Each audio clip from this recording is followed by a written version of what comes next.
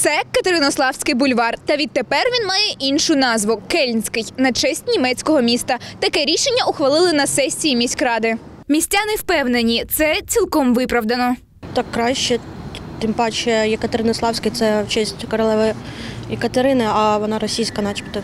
Я за, щоб перейменували, і за те, щоб е, нічого в Україні не осталось від російської культури. В принципі, я розумію, що і Катеринослав він е, цей був названий на честь Катерини, яка не дуже то і добре е, вплинула на Україну. Тому, в принципі, ну, мабуть, це добре. Дніпряни впевнені, так ми можемо віддячити жителям німецького кельну за допомогу. Зокрема, за автобуси, карети швидкої, гуманітарні та медичні вантажі та майже 300 генераторів. Так, це правильно, українізація.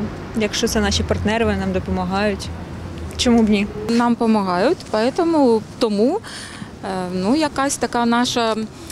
е, То есть нам помогли, и мы даем ну, тоже как бы свою частичку. Вот, пожалуйста, мы на- называем ваш, э, наше, м, как нашу улицу вашим містом.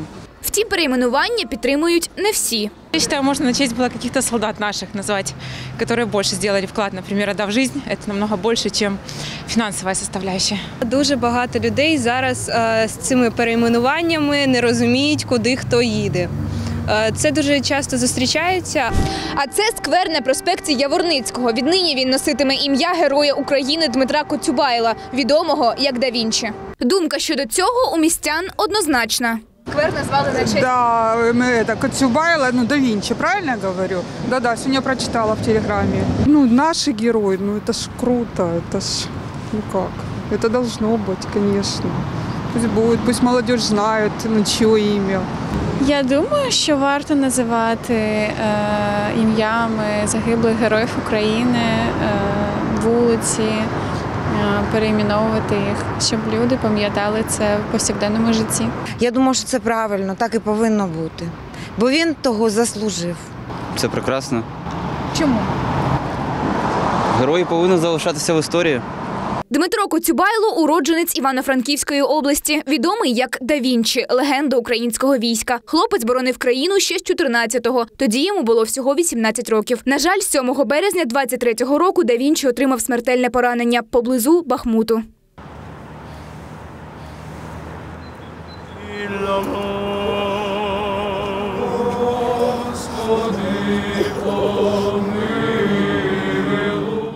Також у Дніпрі перейменували вулицю Недєліна. Її назвали на честь загиблого поліцейського Михайла Кураченка. Полковник загинув у грудні 22-го року під час виконання службових обов'язків. Ксенія Семененко, Ілля Кононов, Open News, телеканал відкритий.